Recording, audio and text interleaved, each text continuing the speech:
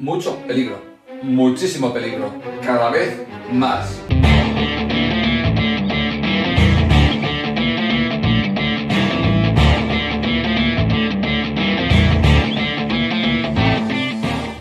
Hola a todos. ¿Veis la calavera?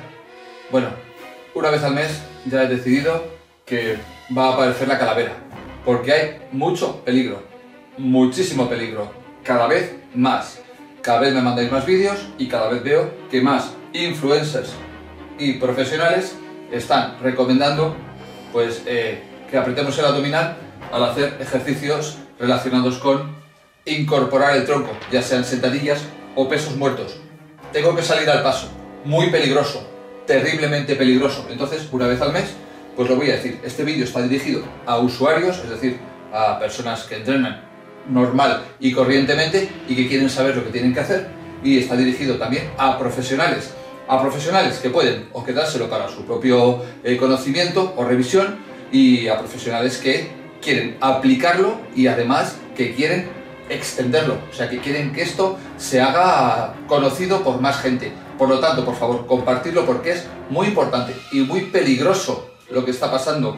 Bueno, los influencers y los profesionales, ahora mismo hay una competencia extraordinaria. ¿Para qué? Para ganar, eh, bueno, audiencia por un lado y por otra parte, bueno, pues evidentemente la gente come de esto y vive de esto. Por lo tanto, buscamos ejercicios llamativos, buscamos situaciones nuevas, eh, buscamos pues cosas que llamen la atención y que se salgan de lo común. A ver, lo común aburre, es cierto, puede pasar, pero una cosa es buscar nuevas alternativas y las hay geniales, hay entrenamientos funcionales que son maravillosos, pero otra cosa es meternos en un terreno peligroso. A ver, todo esto conduce a un grave error y el error viene, desde luego, lo voy a decir brevemente por el tema del core. Esto es una pandemia de core, o sea, una coredemia. A ver, yo ya he explicado en mis vídeos la verdad sobre el core y Iron versus core, derrota por goleada, ya he explicado eh, por qué este concepto no debería existir. O sea, hay muchas formas de interpretar los equilibrios y las situaciones y las fuerzas dentro de nuestro cuerpo, pero en el momento en que, y yo lo viví hace exactamente pues unos treinta y pico años. Yo lo viví cuando eh, se presentó el método Pilates en el Instituto Nacional de Educación Física de Madrid. Bueno, pues a partir de ese momento se empezó a introducir pues eh, la necesidad de contraer abdominal para hacer cualquier cosa, estuvieras haciendo lo que estuvieras haciendo. Evidentemente todos empezamos a revisar, a analizar, a pensar y lógicamente pues algunos nos dimos cuenta de que era un grave error de que ni mucho menos las fuerzas de nuestro cuerpo están controladas por ninguna masa o conjunto de grupos musculares con propiedades mágicas y ninguno de ellos, por supuesto, es el recto abdominal, que es un músculo que tiene sus funciones, pero que la mayoría del día no hace absolutamente nada. Yo, como siempre, te remito a las pruebas musculares. Ahora te coges, te tocas el abdominal, te das una vuelta, subes escaleras, bajas escaleras, te vas para un lado, para otro, caminas, eh, te das, como te digo, un paseo, eh, te vas incluso a trotar, lo que tú quieras. Eh, vas a comprobar como el abdominal no se contrae, a no ser que tú lo contraigas voluntariamente, o que el movimiento, que puede ser por supuesto, o que el deporte que practiques en algún momento lo demande. Pero te lo digo yo que he practicado miles de deportes y he estado en situaciones de competición y situaciones de tener que analizar las acciones mecánicas para mejorar el rendimiento. El abdominal solo interviene exclusivamente cuando básicamente es solicitado por la acción, ya sea voluntariamente o porque en ese momento el cuerpo directamente dice, ahora el abdominal, pues tengo que reclutarlo porque es necesario. Pero el 99% del día el abdominal no trabaja, no estabiliza nada, no tiene ninguna función más allá de que, bueno, cuando está relajado, pues si tiene una cierta densidad, pues eh, no permite que las vísceras pues se caigan hacia abajo. Eso le ha tocado al abdominal, pero está situado en la zona que está situado. Pero eso no quiere decir que tengas que estar todo el día contrayéndolo y si no prueba, ¿vale? Eh, si quieres ponte a bailar, ponte música y ponte a bailar y a ver, durante 5 minutos de canción, ¿cuántas veces contraes el abdominal? Ninguna ponte a jugar al tenis. Y empieza a golpear drive, revés, etcétera, y al rato piensa, vamos a ver, ahora lo voy a hacer contrayendo el abdominal y te das cuenta de que no contraes el abdominal. ¿Por qué? Porque cuando lo contraes dices, joder, qué raro me siento y realmente va a afectar a tu rendimiento, le vas a pegar peor a la bola porque estás centrado en lo que no tienes que centrarte. Y todo esto va por aquí. Luego, perdóname, eh, vamos a pensar, ¿vale? Que lo del core, ya te digo, tienes unos cuantos vídeos, no voy a insistir, pero lógicamente habrá que hacer otro vídeo más preciso sobre por qué no debería existir ese concepto. Y bueno, pues eh, simplemente eh, nos vamos ya con el tema de la sentadilla y el peso muerto. A ver, la sentadilla peso muerto. Tú puedes hacer sentadillas con tu peso corporal o incluso con cargas ligeras. y las puedes hacer contrayendo el abdominal. Perfecto. Si lo que quieres es aliviar tu estreñimiento, si lo que quieres es mejorar, ¿verdad?, tu tránsito intestinal, fantástico. Eso sí, calcula bien los tiempos, ¿vale? Porque lógicamente es algo que ni es necesario ni te va a aportar absolutamente nada. ¿Por qué? Porque si nos fijamos en el proceso real, y ojo, aquí está sin carga, pero quiero que te lo imagines todo con carga, es decir, con una carga que de verdad digas, esto me cuesta levantarlo, esto tengo que levantarlo, tengo la necesidad, porque si no, me voy hacia abajo, me hundo y bueno, pues pasa lo que pasa, ¿no? Bueno, la sentadilla, este es el objetivo final y esta es la situación intermedia en la que hemos bajado y vamos a empezar a subir. A ver, mira la línea, ¿hacia dónde va el movimiento? ¿Hacia adelante o hacia atrás? El movimiento va hacia atrás. Cuando bajamos, frenamos y cuando subimos nos incorporamos, ¿verdad? Luego el movimiento es de extensión de columna y de extensión de cadera.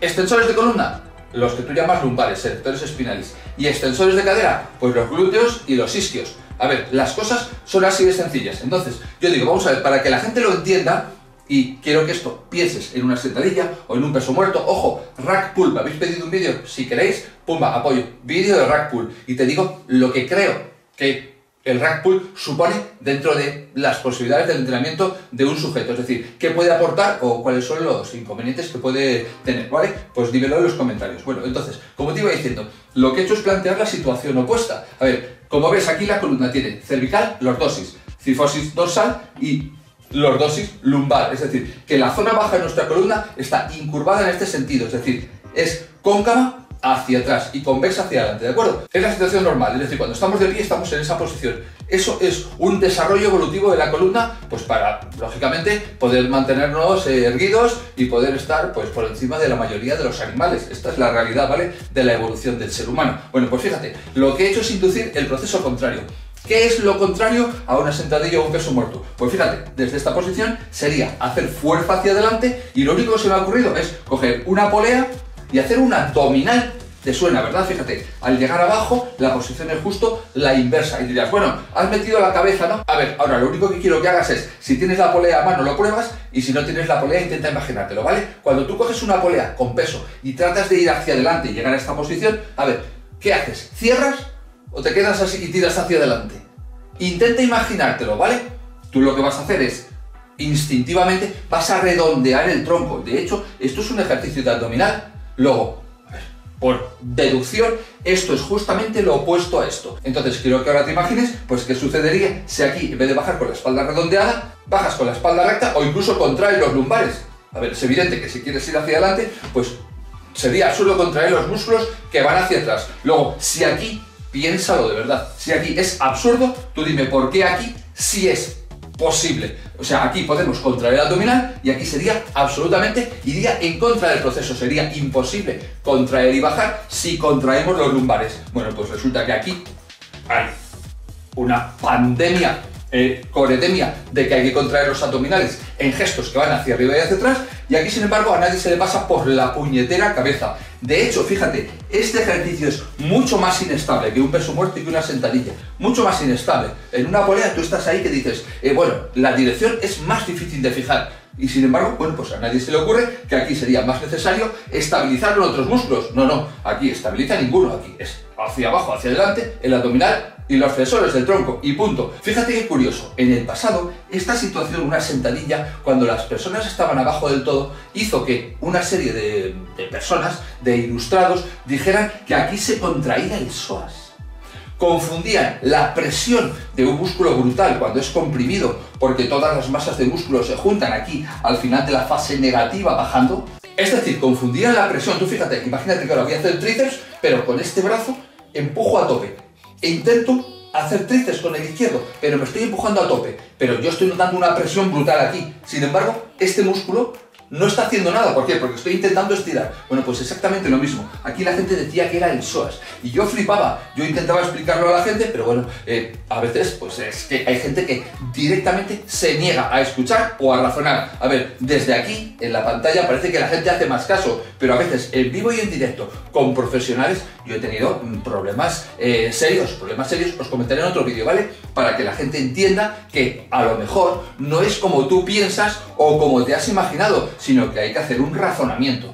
nos vamos rápidamente al tema de la biomecánica y de la estructura de la columna, ¿de acuerdo? Entonces, fíjate, esto es una columna lumbar normal de una persona que está mirando hacia allá, ¿vale? Entonces, tú fíjate, aquí tenemos las cinco vértebras, luego he representado tres. Entonces, fíjate, lo que he hecho es lo siguiente. Imagínate que tú aquí con la columna, en vez de estar erguido, puedes hacer esto o puedes todavía incurvarte más, que sería la situación de hacer un puente, mira aquí el dibujo, o de hacer un giro, una voltereta hacia adelante. Estas dos situaciones son perfectamente posibles y son perfectamente posibles especialmente en personas sanas, es decir, en la mayoría, ¿de acuerdo? Vale, entonces fíjate, en algún momento de tu vida tú habrás hecho una posición límite aquí o una posición de estas encogido y tú has dicho mi columna va perfectamente. ¿Qué sucede? Cuando tú tienes la columna así y la enderezas, es decir, te enrollas un poquito hacia adelante, pues en esta situación que corrige la lordosis, es decir, la disminuye, lo que sucede es que el núcleo de cada uno de los discos que están aquí, ¿vale? El núcleo que ya de por sí está un poquito hacia atrás en la zona lumbar está a dos décimas partes del espacio total hacia la médula espinal, dejando por delante cuatro décimas partes y ocupando cuatro décimas partes del espacio total del disco, bueno, pues lógicamente cuando comprimimos aquí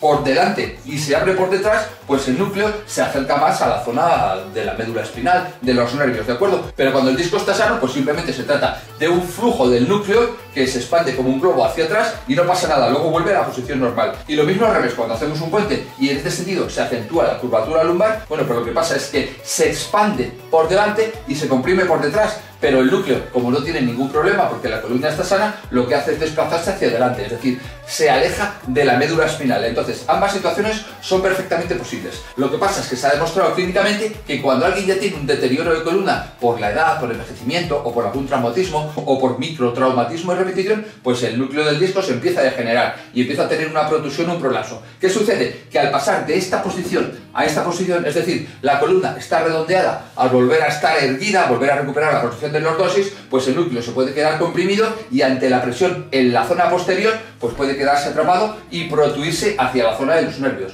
Y aquí es donde se produce el pinzamiento, la hernia discal, como quieras llamarlo. Por lo tanto, esta situación se produce al pasar de una espalda redonda a una espalda otra vez erguida. Cuando por alguna circunstancia, ya tu columna no está en perfecto estado. Evidentemente, esto se produce por microtraumatismo de repetición, porque este tipo de compresiones es como un fuelle y al final el globo empieza a fallar y empieza a pasar a través de las estructuras de los anillos fibrosos que rodean al núcleo pulposo, es decir, eh, la parte importante que es la que puede irse hacia atrás y salir a través de esas fibras y al final terminando protuyendo contra la médula espinal y provocando pues una lumbalgia, una ciática, hernia discal, etcétera, etcétera. Por lo tanto, tenemos que tener cuidado con esos mecanismos, microtraumatismos de repetición en los cuales pasamos de columna redonda a columna extendida, de columna redonda a columna extendida. Entonces, esto, insisto, es muy importante que lo entiendas porque siempre que contraemos el abdominal vamos a hacer que la columna corrija su curvatura, en sentido opuesto, es decir, en lugar de estar en posición de lordosis, que es la de referencia, pues la columna se endereza y por lo tanto se abre por detrás. Luego el núcleo se viene para atrás y en el momento en que nos enderezamos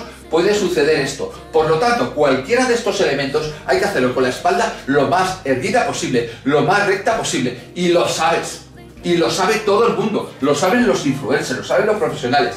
Nadie se queda ahí con la espalda redonda. O si lo haces porque no tiene conocimiento o no se da cuenta. Todo el mundo intenta hacerlo con la espalda recta. Pues si todo el mundo intenta hacerlo con la espalda recta, por favor, pensad, la espalda recta es función de los erectores espinales. Si contraes el abdominal, vas en contra y por lo tanto puedes provocar este proceso que incrementará, lógicamente, al no permitir el proceso natural en el que la columna recupere su posición o se mantenga en esa posición, estará comprimiendo la zona posterior y este es el grave riesgo. Al final terminamos con un problema muy serio. Es muy grave. Por eso he puesto la calavera, por eso, por favor, tener mucho cuidado y que no os coman el coco. Compartir el vídeo, por favor. Eh, intentar que esto llegue al máximo número de personas posibles. Yo lo tengo ya por ahí publicado en varios vídeos. Algunos tienen 20, 30, 40 mil visitas pero me da la sensación de que se quedan por ahí, ¿verdad? Como almacenado y que, bueno, pues eh, rara vez eh, veo yo una reacción en los influencers eh, ¿qué tal? Pues Geray el otro día eh, hizo un vídeo y lógicamente se dio cuenta de que nos estamos olvidando de todo esto al seleccionar abdominales inadecuados en los cuales se pueden producir situaciones parecidas a estas,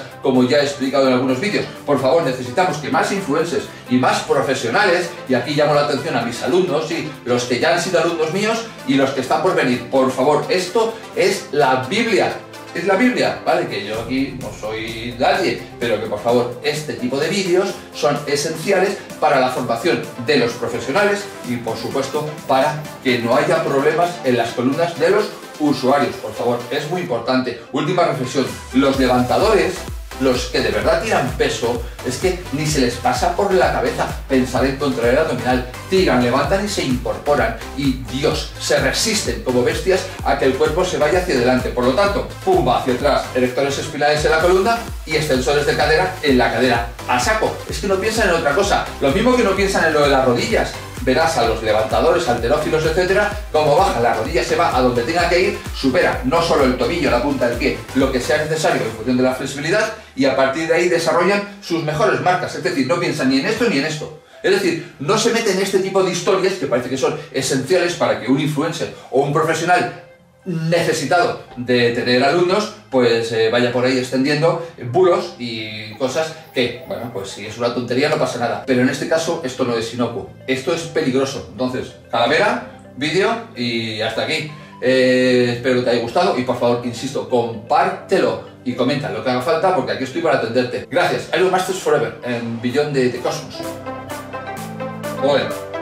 Vamos a demostrar de lo que somos capaces. Sin pensarlo únete, somos Iron Masters. Iron Masters, Iron Masters